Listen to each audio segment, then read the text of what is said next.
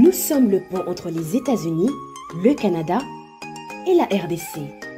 ExoFreight, pour vos transferts de colis en toute sécurité et en toute fiabilité. Notre particularité est que pour vos différentes commandes des véhicules neufs ou usagés et autres colis, nous effectuons l'achat à partir des États-Unis, du Canada et nous livrons en un temps record en République démocratique du Congo. Nos adresses aux États-Unis, 1000 Montana Drive, Charlotte NC, 28 216. Au Canada, 6377, Boulevard Monk, H4, E3, H8. À Kinshasa, au numéro 32, avenue Kitona, quartier Rigini, commune de Lema, et bientôt à l'est de la RDC. Avec ExoFreight, il n'y a plus de limites.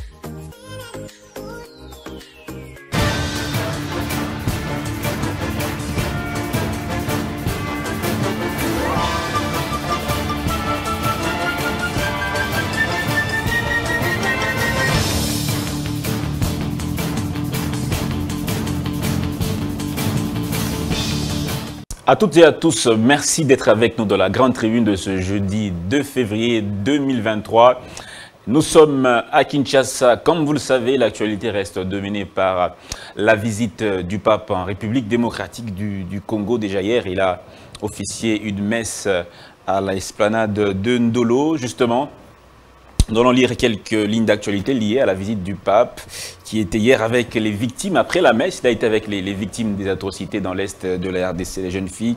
À l'occasion de cette rencontre, il a déclaré, je cite, « J'adresse un vibrant appel à toutes les personnes, à toutes les entités, internes et externes, qui tirent les ficelles de la guerre en RDC en la pillant, en la flagellant de cesser. » Autre déclaration, vous vous enrichissez par l'exploitation illégale des biens de ce pays. Faites faire, faites taire pardon, les armes. Arrêtez de vous enrichir sous les dos des plus faibles. Ça suffit. Autre actualité, ça a fait un peu la polémique, mais on en parle aussi.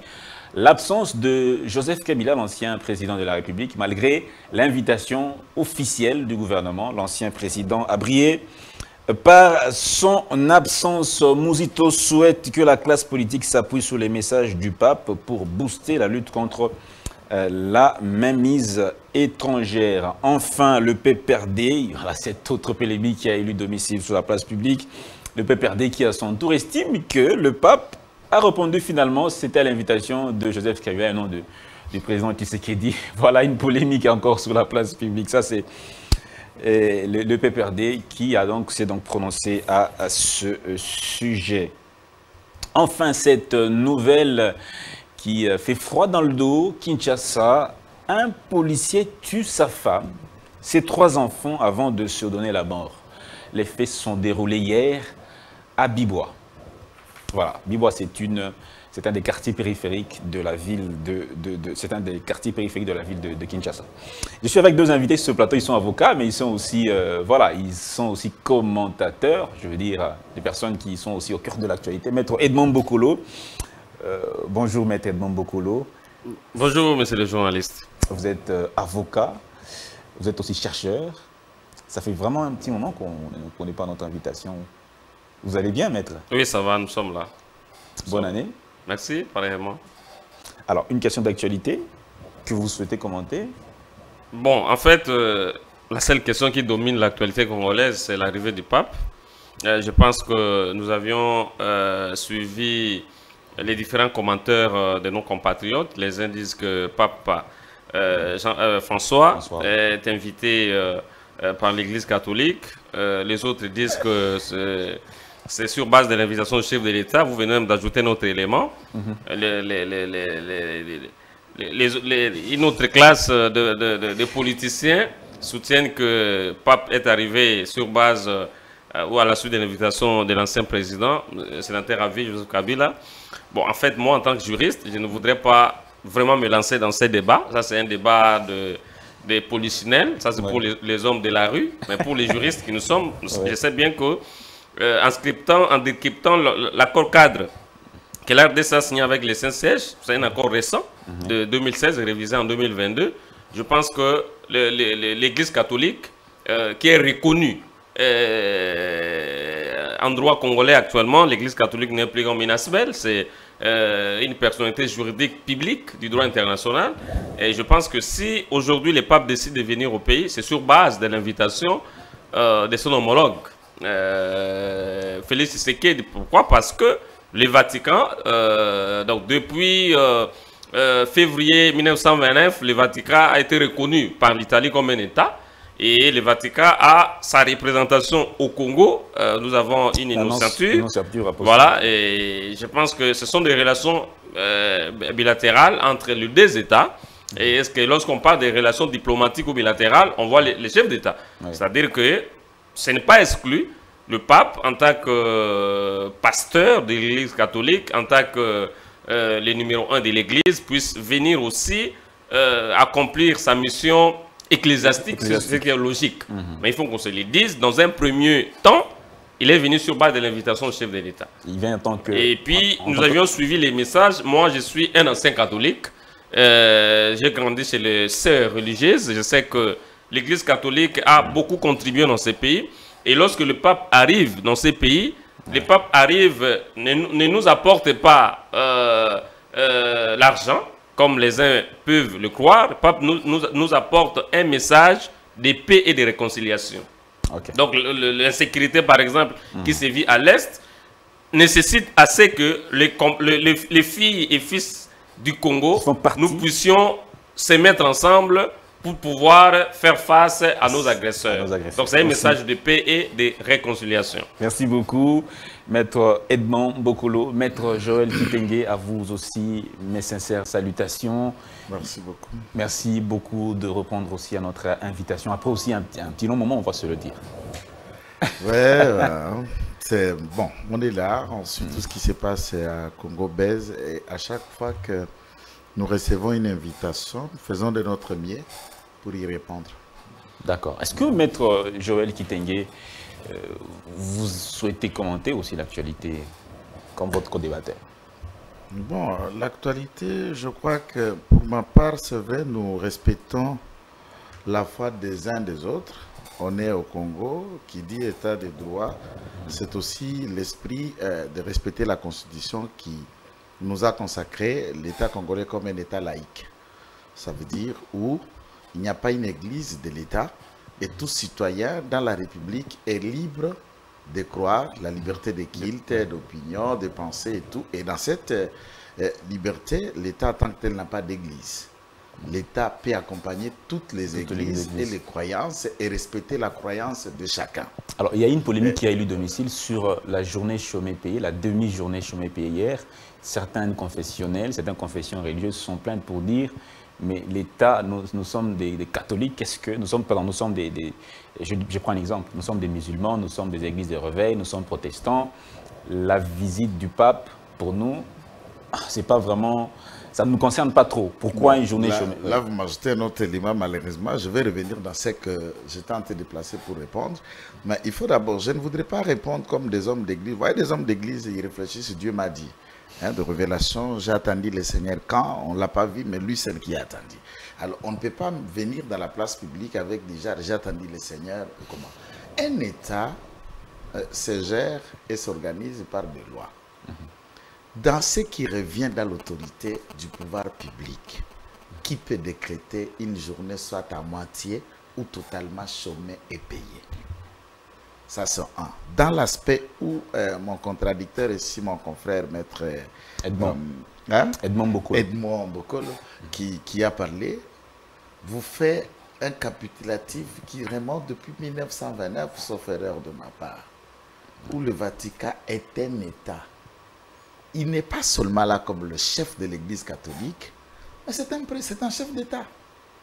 Un chef d'État qui arrive et le gouvernement de la République, pour lui réserver un accueil digne de son rang, a décidé de le faire. Et qui peut dire mieux que le gouvernement de la République de dire que la journée est moitié chômée et payée On ne l'a pas fait pour l'Église catholique.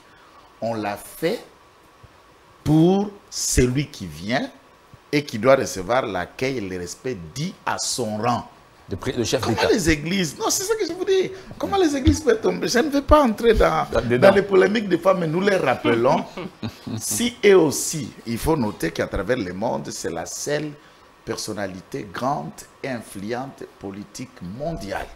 Aucune personnalité spirituelle d'église qui peut rassembler autant de monde au monde à part les papes. Il n'existe pas. Il n'existe pas. Ni chez les musulmans, ni chez les... Non, ne parlez pas qu'un quitte, euh, comme on le fait la Mecque euh, euh, dans, dans les pèlerinages. Je ne parle pas du pèlerinage à la Mecque. Aucun citoyen peut venir de la Mecque à Médine, là où était la terre du prophète Mohammed, qui vient ici au Congo et qui convoque les Congolais pour faire ce que le papa a fait, il ne viendra pas. Quand sa sainteté Dalai Lama, puisqu'on parle que de chef religieux, qui viendra ici, le chef tibétain, vous ne verrez pas de tel engouement.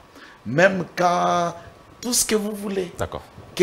même si Mariam Branham ressuscité, il ne le fera pas.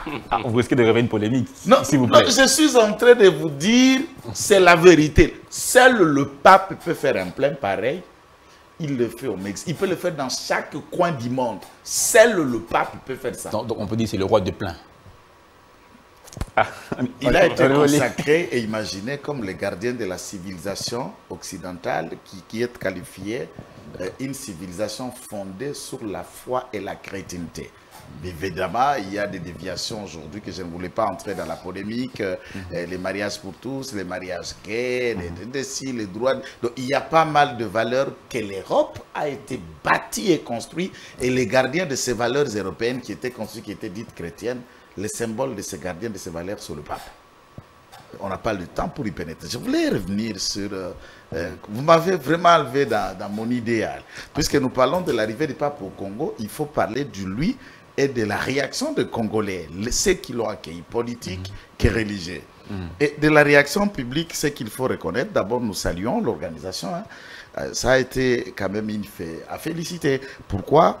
Euh, il y a 38 ans que le pape Jean-Paul II a été ici, récit par Mobutu, mais les événements nous disent qu'il y a des décès, plusieurs blessés. Et là, depuis l'aéroport, euh, l'aéroport d'Indolo, l'aéroport d'Ingili, l'aéroport d'Indolo, aujourd'hui Stade de Martyrs, jusqu'à preuve le contraire, vous êtes des hommes de médias, aucune suite d'un cas signalé ou être mort par le fait que le pape était qu'il soit ou tout événement. Là, en tout cas, félicitations au service de sécurité. Les fonds publics sont estimés à 27 à 28 millions de dollars que le gouvernement de la République a déboursé pour l'accueil du pape. Deuxième élément que je voulais terminer, est-ce que pour être opposant au Congo ou ailleurs, il faut nécessairement être impoli Il faut nécessairement manquer de bonnes manières est-ce qu'il faut seulement être quelqu'un qui, euh, qui est à la marge de toutes les attitudes insignifiantes? Pourquoi? Quand il a fait ça, c'est un opposant. Si un opposant est poli, il, a le bon sens, il n'est pas un opposant. Merci beaucoup. Pourquoi je dis ça? S'il vous plaît, vous pouvez accorder à mon confrère mes minutes. Le président de la République entre en dolo. Tout le monde dans l'honneur, puisque les autres opposants deviendront présidents demain. Le président entre en dolo. Tout le monde s'élève. Katumbi Fayoulou refuse de s'élever. Alors que le président est entré. Plus tard, lorsqu'on s'approchait de l'Eucharistie, Katumbi va s'agenouiller pour montrer sa foi catholique et comment il a le respect au Seigneur. Mais il n'est même pas mesure de respecter l'autorité établie par le Seigneur. Et il veut respecter le Seigneur. Comment voulez-vous aimer un Dieu que tu ne vois pas et tu es incapable de réciproquer, de faire le semblable à celui que je vois, mon confrère, c'est celui que je vois? Parce que je, crois en Dieu, c'est vrai. Est-ce que c'est ah, juste une question simple par rapport à ça, avant de donner la parole à Maître Bokolo. Est-ce que c'était obligatoire que chaque personne doit nécessairement se... Est-ce que vous avez, vous avez attendu mon introduction? J'ai dit, est-ce que quand on est opposant, je n'ai pas insulté, j'ai dit, est-ce nécessairement d'être impoli, manquer le bon sens? On s'est salué avec les confrères. Mm. Moi, c'est la première fois de faire débat avec lui. J'attends de loin et autre. Est-ce que j'étais obligé seulement de le connaître pour qu'on se salue, pour qu'on échange? Et ce que je fais, ce n'est pas juste, est-ce que on s'oppose entre moi et lui. À quoi c'est le bon sens, c'est des bonnes manières. D'accord. Ça, ça ne nécessite pas obligation Je- je- ou je- pas, Hmm. et, et, autre. Et si, pour ne pas monopoliser la parole, vous me laisserez une minute pour revenir sur les propos du cardinal Ambongo, D'accord. tout en accordant et tout ça. D'accord. Ma- Maître, Maître Edmond, Edmond Mbokolo, Mm. euh, Mouzito souhaite que la classe politique s'appuie sur le message du pape pour booster la lutte contre la mainmise de- des étrangers. Qu'en pensez-vous? C'est une. quelle- comment, comment, comment, comment comprenez-vous cette proposition? Bon, euh, monsieur le journaliste, je pense que euh, le message, euh, les discours du pape, euh, tels que prononcés euh, euh, le premier jour de son arrivée, je pense que c'est un message d'appropriation, non seulement pour Mouzit, qui est un acteur politique, mais c'est un message d'appropriation pour euh, le chef de l'État, qui incarne bien sûr toute la nation congolaise, ainsi que pour nous les compatriotes, nous qui sommes euh, les filles et fils euh, de la République démocratique du Congo. Je pense que le pape, en tant que chef de l'État, euh, vit les relations diplomatiques que la RDC euh, est en train d'entretenir avec euh, son pays, le Vatican. Je pense qu'il était nécessaire, en tant que chef de l'État, euh, de pouvoir euh, euh, dénoncer euh, euh, ce qui ne marche pas à l'est du pays, et, notamment euh, tous les complots que la communauté internationale, tous les complots que les agresseurs, euh, certains pays, euh, certains pays entre guillemets euh, sont, se rangent derrière euh, le Rwanda par exemple. Je pense que c'est tout à fait normal. Et ici, je voudrais rappeler que tel que les confrères viennent de le dire, le pape a une influence inébranlable. Donc sur le plan politique, on ne peut pas, on ne peut pas l'égaler avec euh, certains chefs religieux. Parce que d'ailleurs, je vous ai rappelé ici que en RDC, en droit congolais, interne ou international, toutes les églises sont considérées comme les ASBEL, les ONG. Toutes les, j'ai vu toutes les églises, sauf l'église catholique qui a un statut du droit public hein, international. C'est l'article 2 de l'accord 4 qui régit les saints sièges avec les pays. Vous voyez? Et en ce titre, le pape, moi je voudrais même extrapoler pour dire que le, le- pape a une préséance, prédominance vis-à-vis de tous les chefs de l'État. Et nous avions suivi l'actualité. Le pape, le plaidoyer du pape peut influencer même. Je crois qu'il y a beaucoup de pays euh, qui euh, étaient victimes de, de- de certaines agressions. Et le pape a fait un plaidoyer et ces agressions ont cessé. Ça veut dire que lorsque le pape prononce un discours dans le sens d'interpeller et de responsabiliser la communauté internationale, je pense que pour moi, c'est un message que tout Congolais, que vous soyez de l'opposition de la majorité, tout Congolais doit s'approprier. Parce que les pays, parce que vous savez, je vous disais ici qu'il y a beaucoup de gens qui soutiennent à tort que non, le pape vient faire quoi? Qu'est-ce qu'il nous apporte? Mais je pense que le pape nous apporte, le pape nous apporte sa sainteté ainsi que le, message de la réconciliation. Je ne vais pas entrer dans la polémique Oui, oui. au niveau de la sainteté du pape, mais je vous laisse quand même continuer. Oui, oui, mais il est, c'est le Saint-Père. Ça, c'est- connu, non? Il est le Saint-Père. Ça, c'est connu. Moi, je ne suis, je ne suis, je ne suis plus catholique. J'étais catholique à l'époque, mais je reconnais qu'il est Saint-Père. Il est saint. Il est Saint-Père parce que là où il travaille, c'est le Saint-Siège. Et on nous a appris, moi j'ai fait mes études catholiques, comment appris que c'est lui le successeur de l'apôtre Pierre. Et je me limite là. Les- pour le reste, là. euh, Vous ne voulez pas- Oui, oui, je n'entre pas dans les débats. Nous allons nous rencontrer soit à l'enfer ou au paradis. Voilà. Donc ici, je voudrais rappeler que ces messages-là peuvent quand même nous intéresser, nous les Congolais, pour nous mettre ensemble pour pouvoir booster certaines choses. Et comment booster? C'est-à-dire qu'on ne peut pas booster d'une manière éparse. Moi, je suis politicien, j'ai des immeubles, j'ai des hôtels. Non. Booster, euh, ce que le pape euh, est en train de dénoncer, c'est-à-dire que c'est ranger derrière celui qui gère.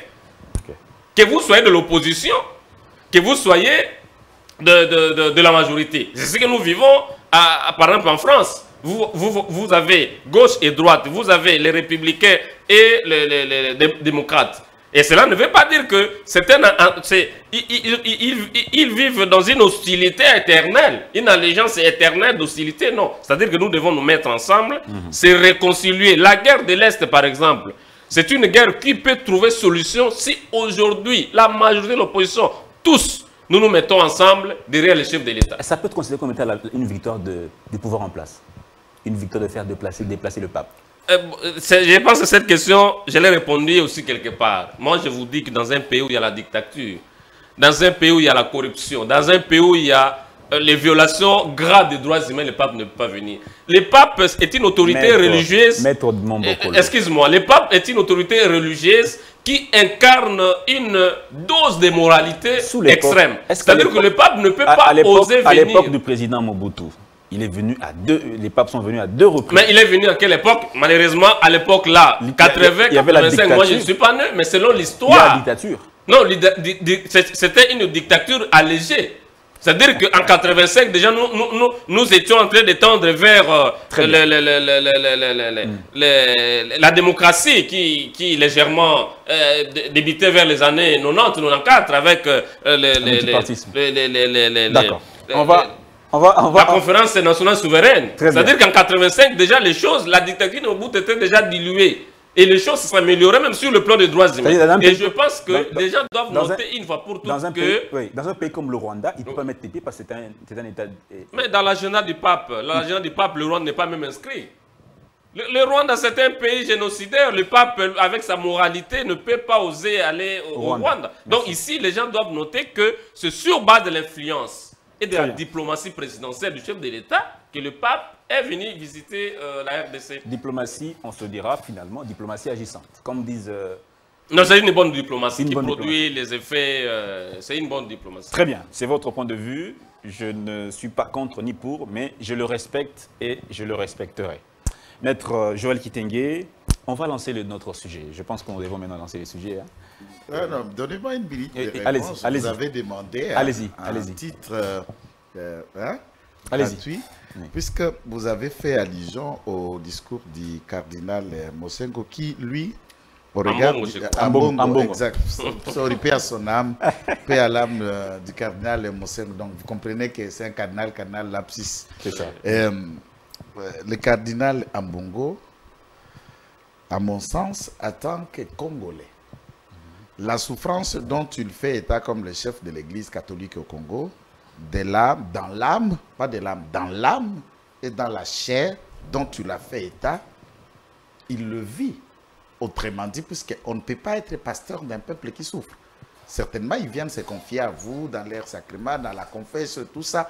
Et vous êtes là face à être un pasteur où on viole les fidèles, on les torture, où les restes, l'agresseur vient. Et la souffrance là, elle est proportionnelle et là, c'est dimension. Vous et moi, à Kinshasa, nous avons nos souffrances en nous. Oui. Et, mais ce n'est pas la proportion de ces Congolais qui sont à Kichanga maintenant, là.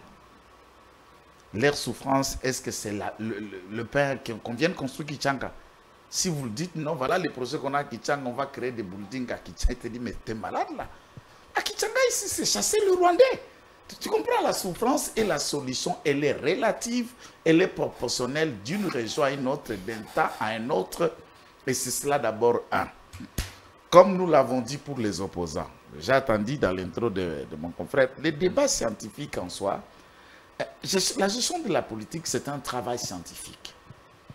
Le cerveau pense, ils mettent en place ce que nous appelons projet de société, en proposant au peuple, le peuple l'adopte, c'est cela le vote. Il l'adopte en votant, en dit, bon, nous te choisissons. On est là dans le principe général sans pointer X ou Y. Et celui qui est opposant, c'est celui qui a des idées contre celui qui est là et qui tend aussi à gérer l'État une fois que les autres lui élisent. C'est cela la question. Lorsque quelque chose est bien fait, si on est opposant, en lui disant que ça c'est bien, vous n'êtes plus opposant? Lorsque le cardinal, en regardant de millions de dollars qui peut servir de Congolais, dont les catholiques, il y en a certains, qui traînaillent dehors puisqu'ils ont fui leur village, par les crépitements d'armes, le viol et toute forme d'atrocité, ils, ils sont morts. Puisque, par exemple, hier, à, la localité va me revenir, il y a eu 12 personnes qui sont mortes dans les camps de réfugiés, asphyxiées par la faim, par la disette. Savez-vous que 27 à 28 millions de dollars peuvent faire combien aux Congolais qui sont là-bas?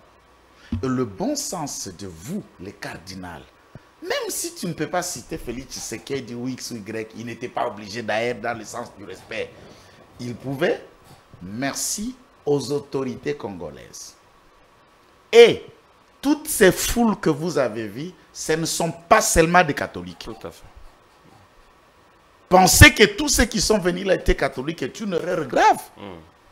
Remerciant le catholique et les autres confessions religieuses qui les ont, qui se sont associées pour accueillir et respecter le pape. J'ai lu le communiqué de l'ECC que l'évêque Bokondo, Bokondo a, dit écrire et appeler à toutes les paroisses et tous les fidèles. Et ils sont venus. J'ai lu les messages de différents partis politiques qui appelaient leurs militants dans le sens de caporaliser sa parole. Et le cardinal Ambongo a été vraiment un cardinal de la honte. C'est quand même assez fort parce que il est. Mais non, euh, c'est- cela ce que je dis. Honte, pour ne pas exagérer. Je préfère m'arrêter le cardinal de la honte. C'est le bon sens, c'est le, c'est le mien. Nous remercions le frère ami des églises sœurs. La population congolaise qui se sont amassée dans les rues n'était pas toute catholique. Pour être fait, la police, les autorités, puisqu'il y a l'église n'a pas mis aucun franc. Ce n'est pas une insulte. Non, c'est une information vraie. C'est Tout a été fait par des trésors publics. Mais remercier ça, ce n'est moindre. Et quand on parle de souffrance, vous, je crois mon confrère également l'a dit. Il a été très dur. Été au petit séminaire. Je sais qu'est-ce qu'est la vie d'un prêtre. Ce sont des gens dès les bas âges qui n'ont jamais connu la souffrance. Ils sont pris en charge des chaussettes aux sandales jusqu'au rien. Des gens comme Kandala Mbongo ne connaissent rien qu'est-ce qu'on appelle la souffrance là. Tout ça, ce sont des métaphores. Il fait des analogues, des analogies. Merci beaucoup. Il n'a jamais souffert. Et il ne sait pas qu'est-ce que la souffrance. Et les élections viennent terminer la souffrance. C'est quelle conclusion pour un prélat? Et la Chine est un pays démocratique à ce moment-là. Le développement de la Chine est dû aux élections démocratiques, apaisées, rassemblées, alors que tout est communiste. Le parti est unique. Comment vous insinuez relier les élections au développement d'une cité? Franchement. Merci, merci beaucoup, maître Joël Kitenge. On va donc, euh, On peut aller dans un autre sujet. on va donc lancer notre, notre sujet du jour. Comme vous le savez, la République démocratique du Congo victime d'une agression injuste, l'agression de la part du Rwanda. Ça fait plusieurs, euh, plusieurs années que la RDC est victime de, l'agression euh, des États voisins, particulièrement le Rwanda et, l'Ouganda, on va, le dire comme ça. On s'est donc posé la question sur les forces armées de la République démocratique du Congo parce que c'est eux qui ont la mission de défendre euh, l'intégrité du territoire national. Alors, quelles sont les forces de la les- quels sont les, points forts des forces armées de la République démocratique du Congo? Quels sont les points faibles des forces armées de la République?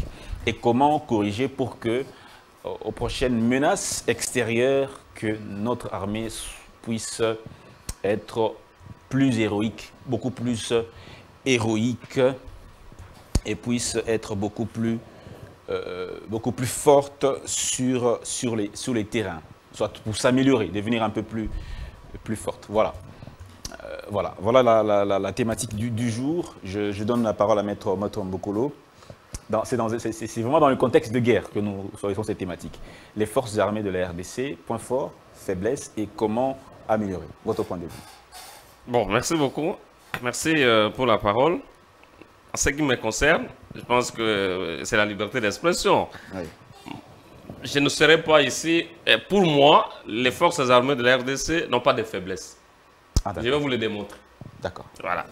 Et ici, avant de pouvoir vous répondre, je croire que l'article 187 de la Constitution nous donne d'abord les différentes euh, forces euh, armées, forces aériennes, forces serré- euh, terrestres, et forces navales, et puis les missions, notamment en temps de guerre, c'est pour défendre l'intégrité territoriale et les frontières de la RDC, et en temps de paix, pour participer à la vie économique, à la vie sociale, euh, voire même pour la protection des personnes, leurs biens en temps de paix.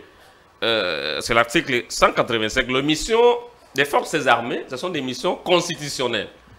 Et après, il y a aussi une loi, bien sûr, euh, une loi qui organise les forces armées, et il y a aussi une ordonnance loi où le chef de l'État était habilité pour euh, prendre une ordonnance loi sur la programmation militaire. Mais les forces armées de la RDC ont une force, comme euh, les, termes euh, euh, l'acquise. Et ici, euh, je, crois que j'ai noté ici, sur le plan mondial, parce que moi je voudrais faire donner un peu de statistiques pour essayer d'imprimer le- le- le- les forces des forces armées de la RDC Ok. Pour dire à la population congolaise que nous n'avons pas une moindre forces armées. Nous avons une forces armées très forte. Redoutable. Mais vous allez peut-être dans, euh, dans les minutes qui suivent, nous, nous dirons pourquoi il y a euh, Des de- certaines faiblesses qui ne sont pas dues à la volonté des forces armées. Et ce sont des complices, des pays euh, complices de, de la communauté internationale et consorts. Sur le plan... C'est c'est à ce niveau-là qu'il faudra finalement arranger. Oui, oui. Pour, sur le plan mondial, sur le plan mondial, euh, nous occupons euh, 72e place sur la, la puissance militaire. Sur le plan mondial, je pense que c'est le classement de euh, Global euh, Firepower, c'est une agence américaine. Américaine. Sur le plan mon- mondial. Et sur le plan, dans, dans le monde entier, nous avons combien de pays? Nous sommes 72e armée, 72e armée- puissance puissance militaire. militaire dans le monde. Dans le monde. 72. Et ici, si nous voulons faire euh, une petite gymnastique, dans, le- dans le monde entier, nous avons combien de pays? Ça, c'est de deux. Sur le plan africain, sur le plan africain, en 2023, nous étions euh, à, à- à la 2022. 11e place. 22.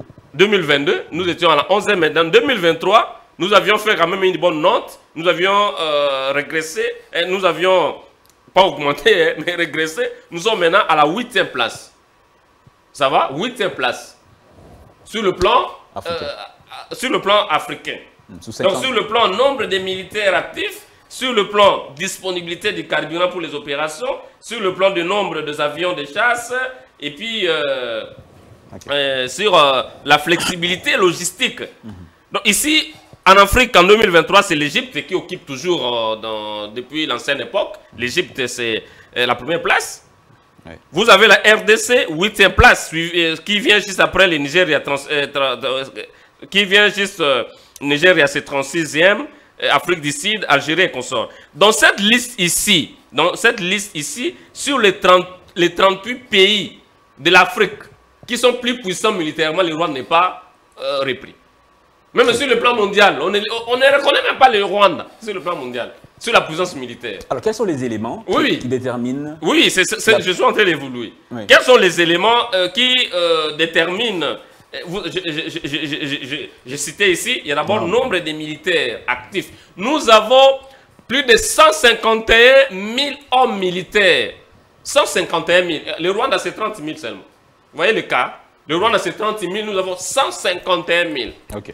Et vous avez aussi la disponibilité du carburant pour les opérations. Je pense que pour nous, avec euh, la, la loi sur la programmation militaire, parce que nous avons une loi qui a été adoptée en août 2022, une loi pluriannuelle, c'est-à-dire que c'est une loi de programmation de 5 ans, de 4 ans, de 2022 à 2025. 2022 à 2025. Nous avons une loi. Et dans cette loi, il est prévu un budget euh, qui sera appliqué chaque année pour euh, les opérations et pour l'équipement. Ça, c'est au niveau des réformes. Ça, c'est au niveau des réformes. Tout à fait. Ce qui fait que actuellement, avec cette loi, nous sommes classés, nous sommes classés parmi le- le- le- les 38 pays les plus forts, les plus qui, a- qui- qui ont une puissance militaire. Nous sommes à la huitième place. Vous voyez? C'est-à-dire que sur le plan du nombre de militaires, sur le plan des opérations, sur le plan de, de- de- de nombre d'avions de chasse et sur le plan euh, du budget affecté euh, à la défense nationale et sur le plan de la flexibilité logistique. C'est-à-dire que nous avons une puissance militaire Très bien. que le Rwanda ne peut pas euh, oser provoquer. Vous voyez? Et le problème qui se pose avec... Ah, ah, le problème qui se pose avec la RDC, si le Rwanda aujourd'hui se manifestait en tant qu'un pays démocratique, dit donc moi, le Rwanda, moi Paul Kagame, je vais combattre Félix Tshisekedi, je vais combattre les pays de Félix Tshisekedi, je pense qu'avec les 30 000 hommes, ça ne peut pas se tenir. Nous avons 151 000 et nous avons des avions de chasse.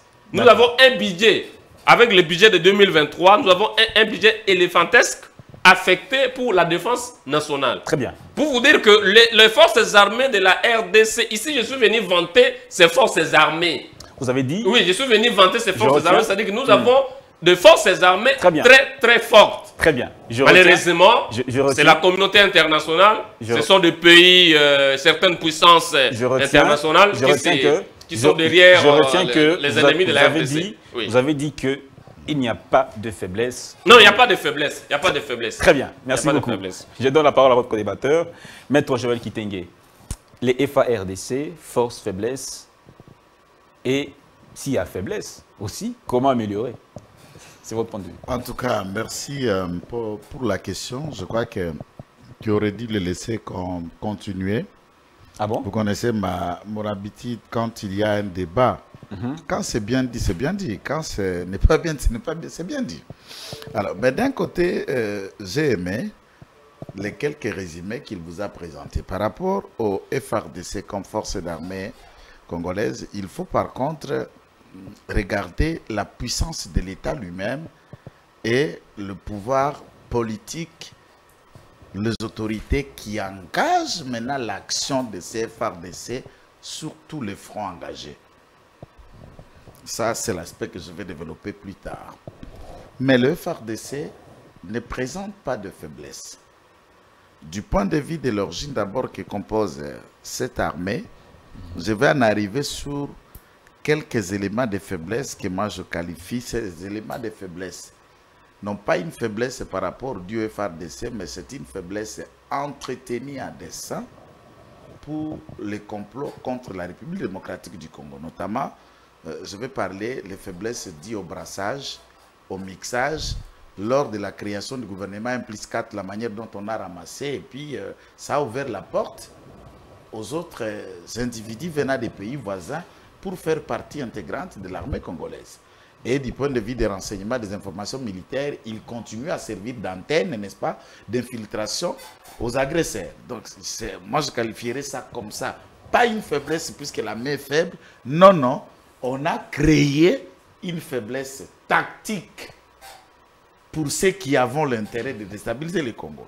Tu vois que je fais l'inverse de votre question pour placer un mot sur la faiblesse et revenir sur la force. Donc, il y a, il y a une, la faiblesse que vous avez remarquée, qui semble exister, c'est une faiblesse qui a été tactiquement créé. à dessein Exactement. pour laisser le pays toujours à genoux. Je peux vous donner un exemple de cette faiblesse avant que je revienne en Mais puissance. pourquoi- J'ai pourquoi- inversé. Oui, oui. Je vais vous donner une faiblesse. Lorsque nous parlions du 1 plus 4, il y avait euh, de mouvements majeurs, mais également d'autres mouvements mineurs qu'on a qualifiés de composantes et entités. Il y avait euh, RCD Goma, qui était un mouvement purement rwandais, mais associé avec un certain nombre de Congolais. Il y avait en deuxième position un mouvement puissant, c'était le MLC de Jean-Pierre Bemba. Et ensuite, il y avait les ML RCD KML de Moussa, de qui ça, l'autre, la Roger Lumbala, et le Maïmaï. Il y avait un certain nombre d'entités euh, qui n'avaient pas la même proportion que l'RCD Goma. Et de l'autre côté, dans cet accord-là de Lusaka, même euh, de Pretoria, on devrait aussi considérer la partie République démocratique du Congo sous Joseph Kabila comme une autre entité une autre entité aussi et il est, euh, les bénigérants se sont dit euh, de créer euh, une gestion de 1 plus 4 et avant, on a commencé les rapprochements des brassés. Ceux qui étaient les membres de police du RCD Goma ou du, euh, du MLC de Jean-Pierre Mbemba, les forces armées, les généraux qui étaient chez Jean-Pierre Mbemba, qui étaient chez Moussa Nyamwisi, qui étaient dans les Maïmaï ou les restes, et entre par exemple les cas des Maïmaï. Les Maïmaï, par exemple, nous qui sommes nés à l'Est, ce sont des féticheurs. Des gens qui croient aux fétiches, aux esprits, à un pouvoir ancestral. Et ce sont des guerriers. Et nous avons des généraux au sein des FARDC. Son parcours, c'est Maïmaï.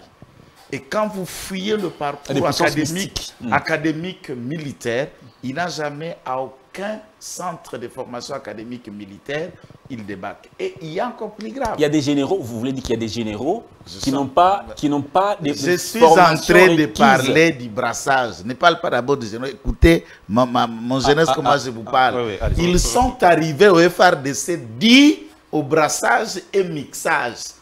Ce n'est pas que le FRDC recrute un abruti pour faire de lui général. Non. Donc il ne faut pas confondre les mots. Je comprends. Les FARDC n'a pas recruté un rien du tout, tu deviens général. Non, non, non, non. Moi, je suis chef d'un groupe, euh, puisque j'ai dirigé village 3-4. Et lui, il dirigeait village 5-6. Toi, tu dirigeais tout ça. Maintenant, nous faisons les 1 plus 4. Et l'accord était, chaque, les personnes qui viennent des entités doivent être acceptées à leur grade initial d'où qu'elles viennent là-bas. Et nous en avons eu. C'est comme cela que je ne veux pas pointer du doigt les individus dans l'armée. Je parle en général, tout le monde sait ce que je suis en train de dire. Très bien. Et ça a été un élément important. Puisque bien avant le brassage, du temps des Aïrs, le Congo n'a jamais compté, par exemple, 500 officiers d'origine Tutsi au sein de l'armée ou, s'il ne faut pas gêner les esprits, le rwandophone. Le temps des Aïrs, nous ne les avons pas. Aucun officier rwandophone au sein des forces, des forces, des forces armées. tous les généraux d'Isaïr n'étaient pas 30 ou 40 et on connaissait chacun avec son nom. Vous connaissez son nom? Mais les hommes de troupes. Si je pointe Parmi les hommes de troupes. Parmi les hommes de troupes, même, il n'y en avait pas.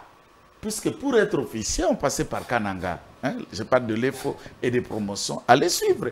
Et tous les noms de ceux qui ont été à Kananga, on les grave.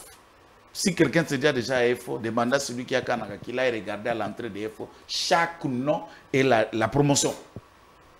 Oh, nakenda na. Promotion maswa na. Oh, nakenda na kito. L'armée est tellement structurée, mon cher Dan, où tu ne peux pas dire je suis militaire, je suis de telle promotion. Tout de suite, tu seras repérable puisque les gens de cette promotion, ils sont pleins ata bakokanga kombo toyebi visage oyo tozalaka ne masuwa na nga toalaka ne na formation. Excusez pour parphaser ya lingala toalaka ne na formation.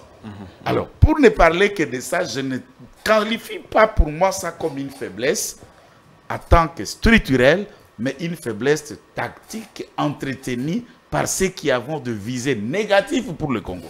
Alors puisque les brassages seuls les hommes de Jean-Pierre Mbemba ont été brassés il y avait brassage et mixage, les deux mots ne disent pas la même chose. Seuls les hommes déjà premiers qui étaient répertoriés et brassés, qui, la plupart, 90%, étaient des, des officiers d'Isaïe.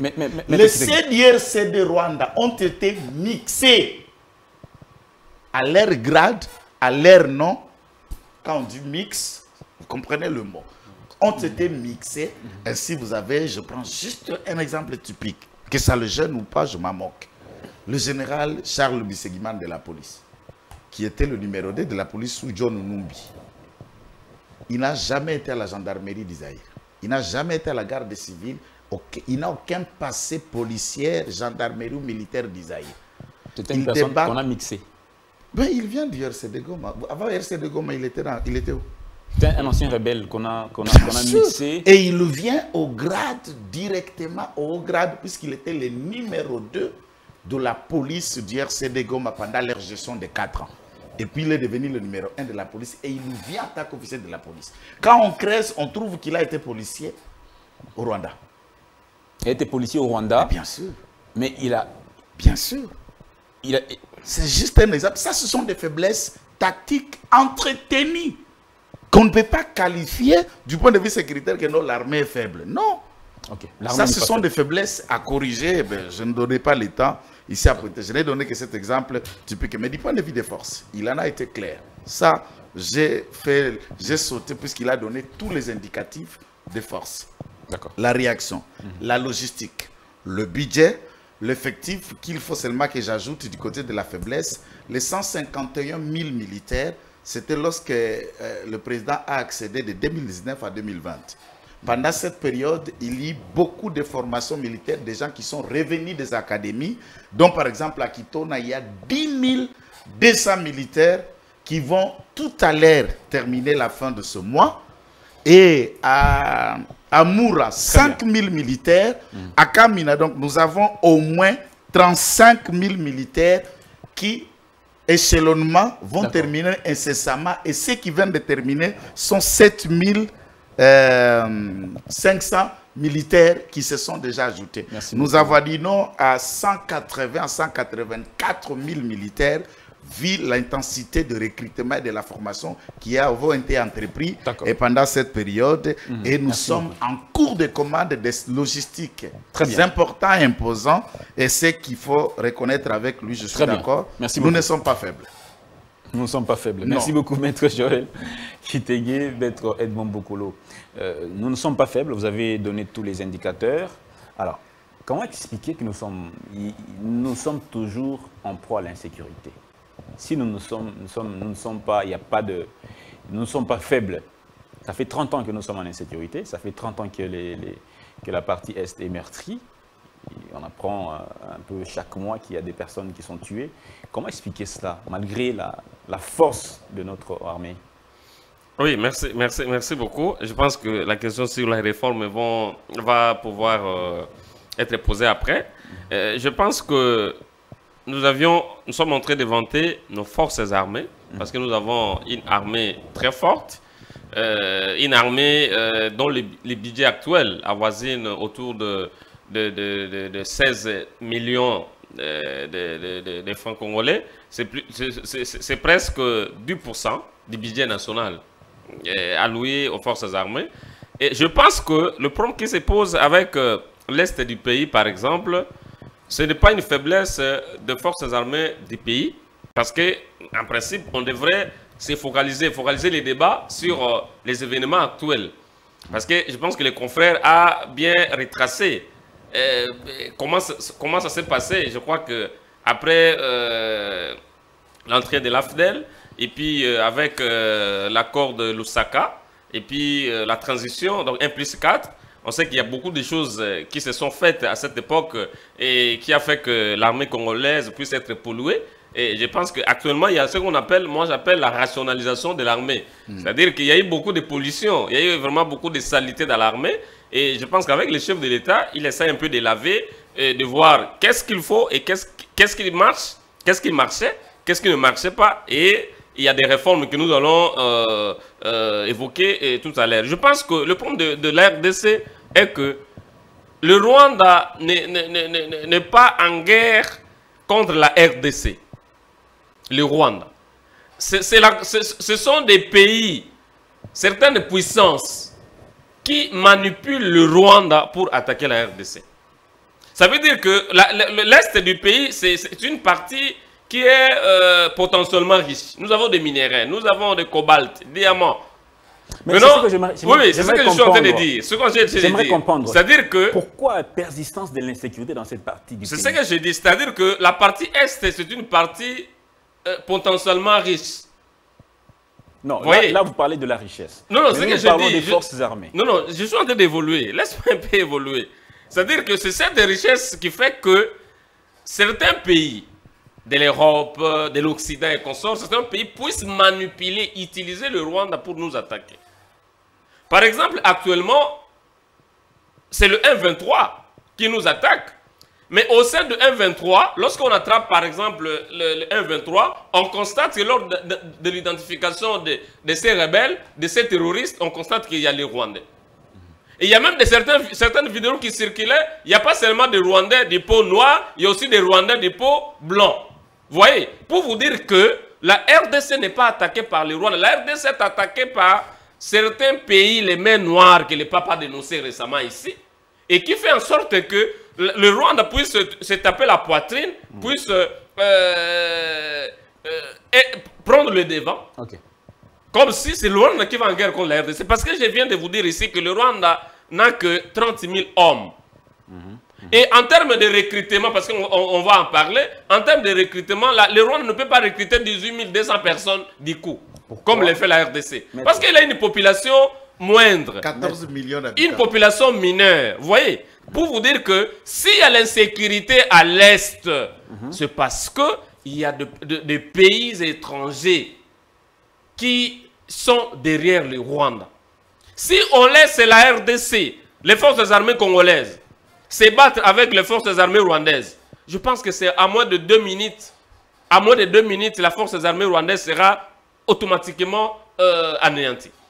Ah, ok. Vous voyez? Et vous voyez qu'il y a certains pays, même les pays voisins, c'est pas seulement le Rwanda, non? Le Rwanda est en complicité avec certains pays voisins. C'est-à-dire qu'il y a des engins, il y a des... Les Rwandais n'est pas à mesure d'acheter les équipements que nous allons acheter. Les Rwandais n'ont pas d'argent pour acheter des avions de chasse. Les Rwandais n'ont pas d'argent pour acheter. Il va... Où est-ce que le, les Rwandais entrent chez nous, c'est pour voler les minéraux aller vendre aux multinationaux et les multinationaux apportent des équipements. Est-ce que nous ne pouvons pas nous, nous, aussi à notre niveau faire de même, c'est-à-dire aller chercher ceux qui peuvent nous soutenir, des alliés forts pour que nous puissions, parce que visiblement c'est une, on dirait une petite guerre mondiale qui se déroule là-bas. Pourquoi nous aussi à notre niveau nous ne faisons pas comme, comme vous avez dit le Rwanda, on cherche des partenaires qui sont aussi forts pour, à, à qui nous pouvons garantir des intérêts pour venir mater cette, cette armée je pense que c'est ça ma proposition. Parce que moi, en ce qui me concerne...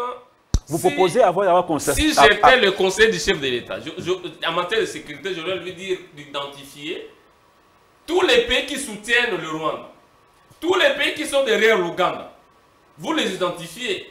Par exemple, récemment, on cite euh, les États-Unis, on cite euh, les, les, les, les, les Qatar, les, les, les Qatar et consorts identifiez tous ces pays, affrontez tous ces pays. Vous avez besoin de quoi? Nous avons besoin d'uranium, nous avons besoin de diamants. On, on, vous dit, n'allez pas au Rwanda, venez chez nous, on vous livre, les, on vous donne les diamants directement et vous allez nous soutenir.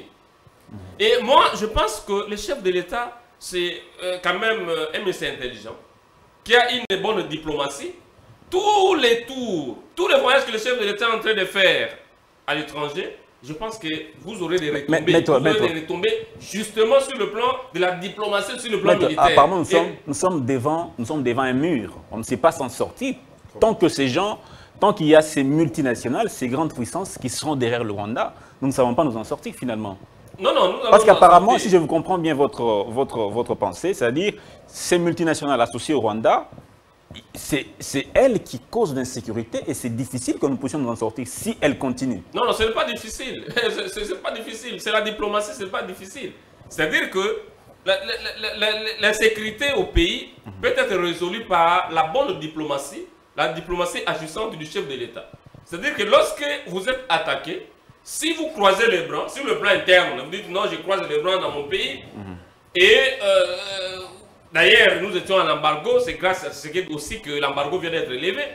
Si vous croisez les bras, non, non, non, les forces armées, eh, la police, allez, non, non, non. C'est-à-dire que lorsqu'il y a des attaques comme ça, on ne croise pas les bras. Le chef de l'État, qui est le patron de la diplomatie, doit toujours euh, toucher par-ci, par-là, prendre des contacts sérieux, comme il est en train de les faire. Prendre des contacts sérieux, comme il est en train de les faire. Je pense que depuis que le 1-23 attaque euh, l'Est du pays, je pense que l'M23 ne parvient pas à accéder à Gom.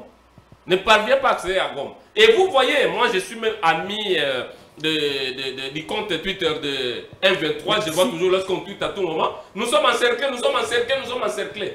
Et si vous prenez nos avions de chasse, vous savez, le, le, la sécurité congolaise a besoin de sa population.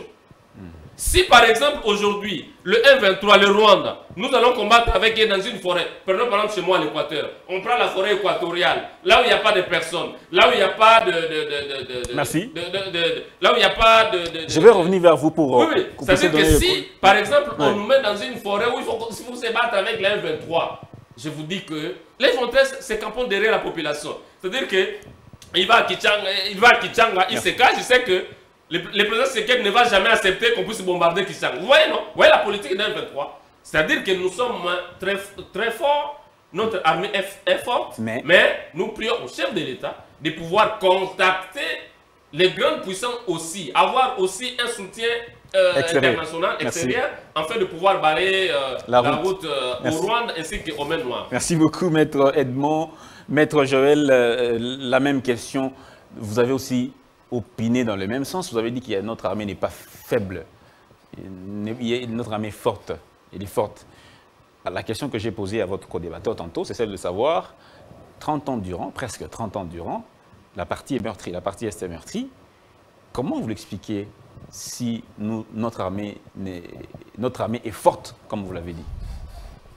Bon, euh, la guerre, c'est comme le problème de la vie ne finissent jamais. Vous réglez celui-ci, un autre arrive. Oh, j'ai besoin des enfants, les enfants disent non, l'école, et après l'école, c'est comme le problème de la vie, c'est ça la guerre. Et la puissance, c'est aussi une volonté de croître en puissance. On peut être puissant et on doit croître en puissance. Est-ce qu'on est faible? Non.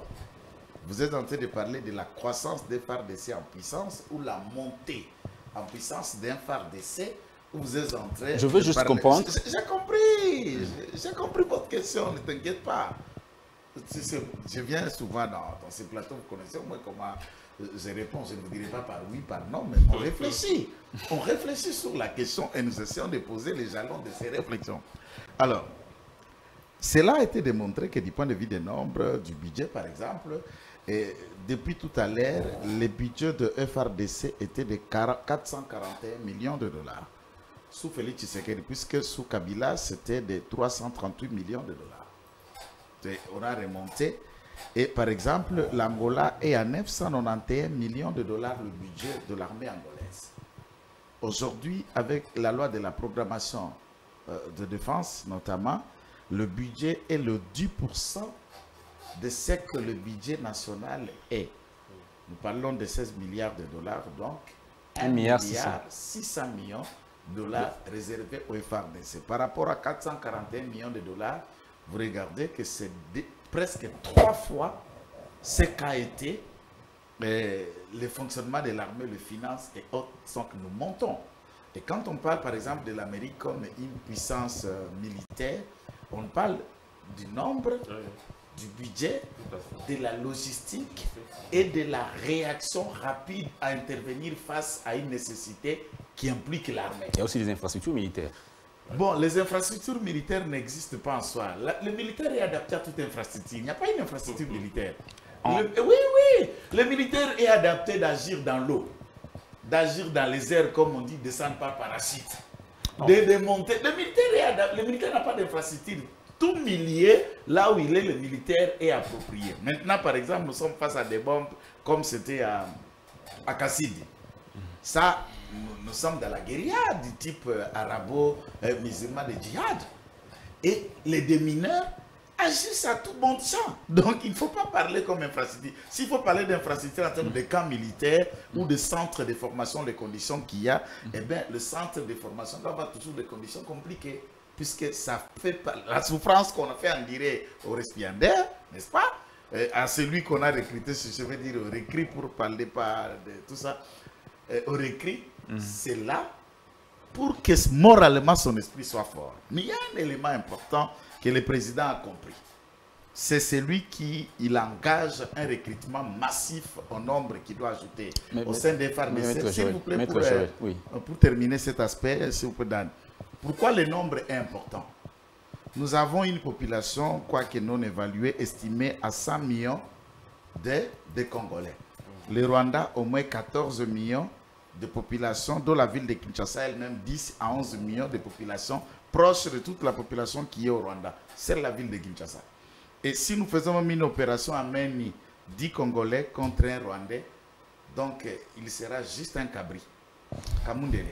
Alors, maître, le, problème militaire, militaire c'est très bien. Mais aujourd'hui. Cet aspect Aujourd'hui. Pourquoi je dis ça? Hmm. Une population de 100 millions d'habitants. Le nombre, c'est très bien. mais. S'il vous plaît, s'il vous plaît, au moins le 10% de cette population doit faire partie de l'armée, vu l'expansion démographique et géographique du pays. Quand on parle de 14 millions d'habitants, il faut regarder, c'est combien C'est à peu près 180 km qui composent la République rwandaise et nous c'est 2 345 000 km au point où le nombre de militaires que nous détenons, qui est déjà une signification utile, le ministre de la Défense a dit dans sa sortie médiatique de tout à l'heure qu'ils sont dans un pari au moins d'avoir d'ici la fin de l'année prochaine ou d'ici 5 ans 500 parmi les éléments de puissance, 500 000 militaires. En dehors des nombres, en dehors du nombre, comme, vous l'avez cité, il y a aussi la technologie. Aujourd'hui, avec l'expansion des nouvelles technologies de l'information et de la communication, l'armée se modernise par des équipements de plus en plus sophistiqués. On va, prendre l'exemple d'Israël, par exemple, qui n'a pas une très grande armée en termes numériques, mais qui, qui, a vraiment du matériel technologique des hautes portées. Est-ce que nous, nous, pouvons aussi nous avoir ces, ces, Je vais vous dire ceci. Il n'y a aucune technologie au monde qui pénètre le mire pour savoir ce qui se discute dans le mire. Aucune technologie Cela veut dire la puissance militaire même des États-Unis ou de puissance des renseignements, à part la logistique, c'est quand cette armée est capable de s'infiltrer et d'agir au sein de l'armée ennemie. Et c'est ça un élément où on joue de Congolais, puisque au sein des FARDC, ils ont leurs agents.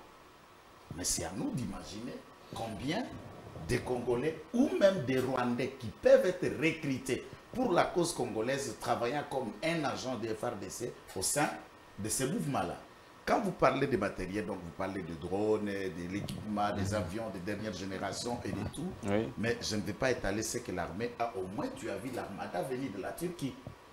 Et aujourd'hui au monde, les drones turcs sont le meilleur drone du monde, supérieur à celle des États-Unis.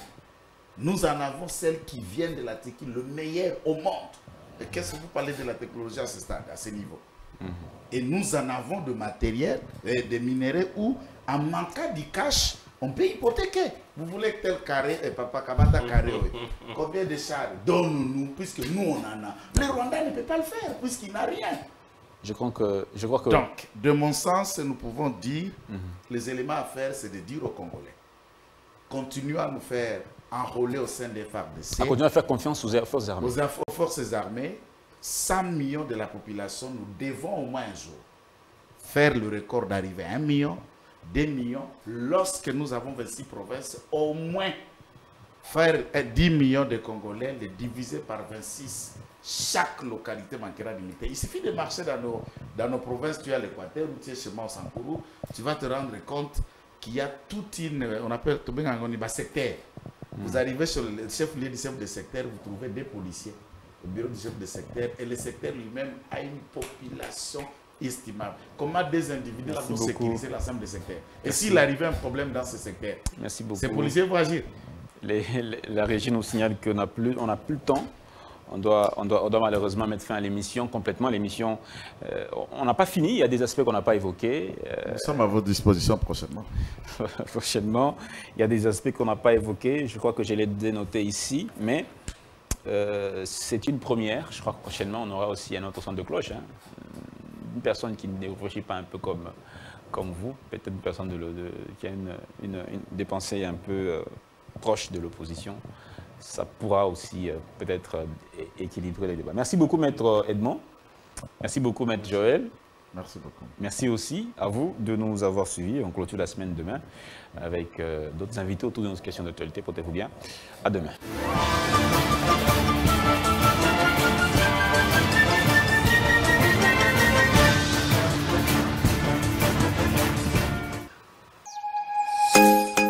Sommes le pont entre les États-Unis, le Canada et la RDC. ExoFreight, vos transferts de colis en toute sécurité et en toute fiabilité. Notre particularité est que pour vos différentes commandes des véhicules neufs ou usagés et autres colis, nous effectuons l'achat à partir des États-Unis, du Canada et nous livrons en un temps record en République démocratique du Congo.